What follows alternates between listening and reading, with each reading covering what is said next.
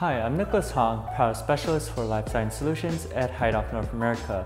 Today we'll be talking about our Hei-FLOW series. The Hei-FLOW series offers a variety of peristaltic pumps. This allows us to accommodate a wide range of liquids and dispensing speeds. Heidolph also puts a lot of emphasis on the construction of these instruments. The pumps are designed so that the liquid does not come in direct contact with the pump head or any other component of the instrument. This prevents any cross-contamination between different samples. Furthermore, each pump head is made out of convex rollers which prevents the squeezing of the tubing and in turn allows for uninterrupted pumping. Additionally, there is a simple smooth start function that prevents any spilling or splashing during the initial stages of the experiment.